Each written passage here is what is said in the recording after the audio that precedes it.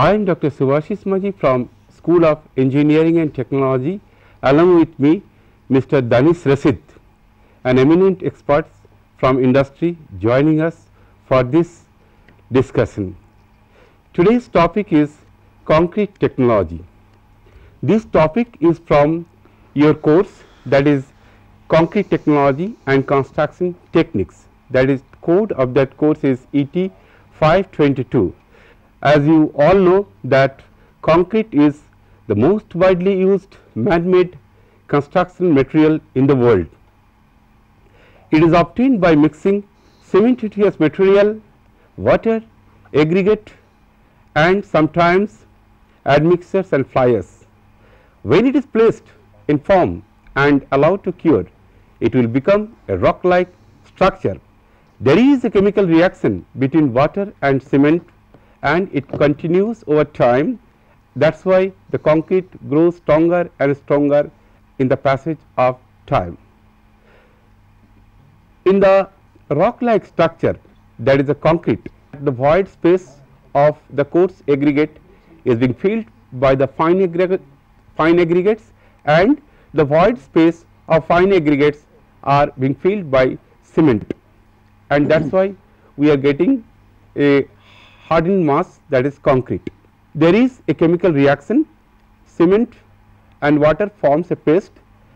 It not only fills the void space of the fine aggregate, but also makes the coating on the surface of fine and coarse aggregate and that is why binding them as a concrete mass. Now, the final product that is concrete depends on the several factors. It depends upon the quality of ingredients. What are those ingredients? The ingredients of concretes are water, cement, aggregates, we call it fine aggregates as well as coarse aggregate. Sometimes admixtures are also being added to give additional quality for the final product and of course, the ash. Cement generally are used that is the Portland cement. It is obtained by burning of a mixture of argillaceous naturally occurring compound that is argillaceous call it alumina and calcareous, calcareous that is the calcium carbonate. It is being heated to a partial fusion at a temperature of 1450 degree centigrade and when it is cooled that is known as clinker and it is grounded in a very fine particle and we get the final product that is cement. And sometimes plaster of Paris or gypsums are also being added to adjust the setting time. It also improves the soundness of cement if we add plaster of Paris or gypsum along with clinker. And it also as I uh, mentioned that it also improves the quality of cement and there are different qualities of cement available in the market and the, the, the type of cement are being chosen as per the requirement of the customers. Now, in as a layman when you use the thumb rule we know very well that how to get concrete by ordinary method. That is the thumb rule says that 1 is to 2 is to 4 ratio. 1 bag cement 2 bags sand and 4 bags coarse particles. That is the aggregates. We call it aggregates. But nowadays the quality of construction is changing.